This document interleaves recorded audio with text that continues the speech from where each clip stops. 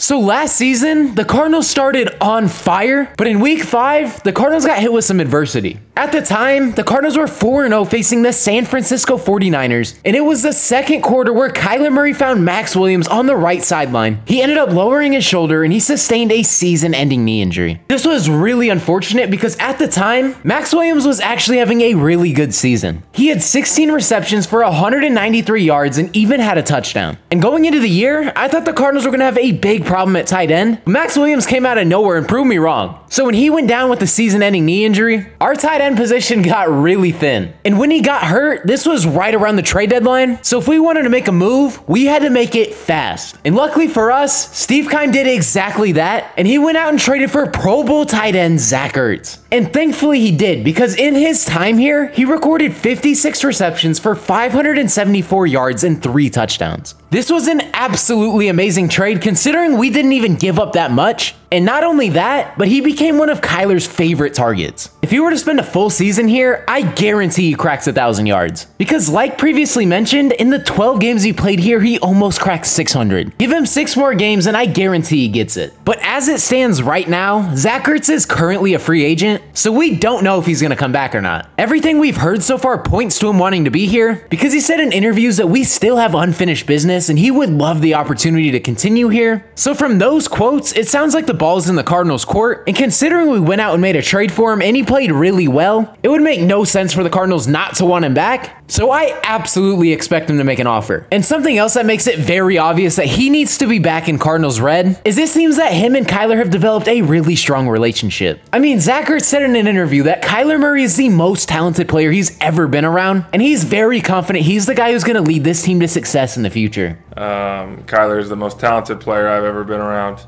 and I think the sky is the limit for him. But I'm confident that he's the guy to lead this team to success in the future. That's some pretty high praise. And when you flip the script and look at some of the things that Kyler said about Ertz, he said he provides a comfort level. It's crazy. He's always open. Kyler also said when he looks at the game film on Zach Ertz, 9 times out of 10 he's won his route. 9 times out of 10 is crazy, and from those quotes right there, it's safe to say they built a pretty good relationship on and off the field. I just don't understand why a deal wouldn't get done. It wouldn't make any sense for the Cardinals not to re-sign him, so I think he's gonna be back. I guess the only question is, at what cost? If we take a look at some of the top contracts currently in the NFL for tight ends, you'll see there's only currently seven players making over $10 million a year. Those players being Austin Hooper, Hunter Henry, Jonnu Smith, Mark Andrews, Dallas Goedert, Travis Kelce, and George Kittle. So where does Zach Ertz fall in this? If we take a look at last season, he was ranked number eight in average salary, making $8.5 million a year. And honestly, that's not that bad of a price for him. The Cardinals are going to take into consideration that he is 31 years old, so I don't envision him signing him to a long-term deal. And if I had to take a guess on the contract they're going to offer him, I'd probably say we're going to look to sign him to like a two-year to 16 to 20 million dollar deal. And if that were the case, I would be absolutely stoked. But that's just my prediction. I have no idea what's going to happen. But what I do know is the Cardinals would be absolutely crazy to let him go. But I just don't think that's going to happen, and I think he's going to be one of the biggest priorities in Steve Keim's list. And with that being said, that's pretty much going to wrap up today's video. Let me know down in the comment section below whether you guys think the Cardinals should re-sign him or not. And if so, let me know the type of contract you think he should get. And also, if you guys are new to the channel and ended up enjoying today's video,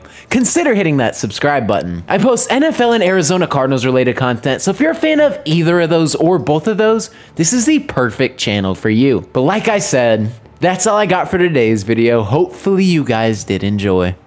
It's been your boy Mythic. Peace out.